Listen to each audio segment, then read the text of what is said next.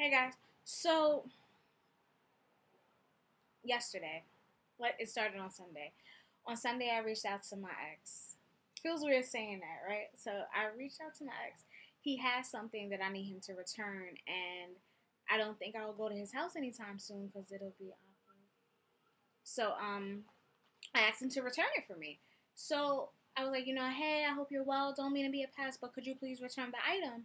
So he was like, his response immediately, you blocked me? Question mark. No, I didn't. like, I don't.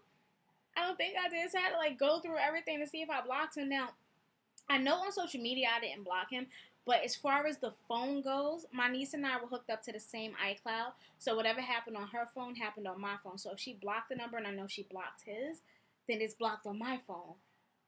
But I don't know his number. so just like, no, no, no, I didn't block you but I don't have your phone number. He was like, well, why don't you have my phone number? What did I do? I'm confused.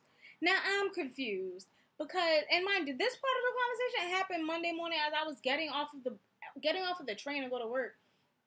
So he's like, you know, I'm confused. What did I do? I was like, well, now I'm lost because I was under the impression that we both agreed that there, well, more so your words than mine, that we were done with the situation. And there was no nothing else to talk about in regards to it.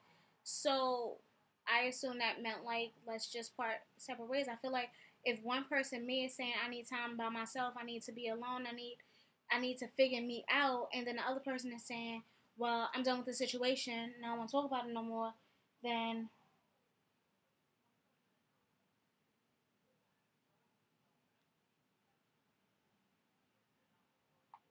then um sorry that was so many people. Then um, where's the confusion?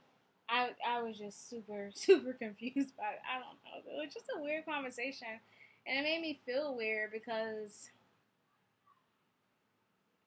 I don't know. It was just weird.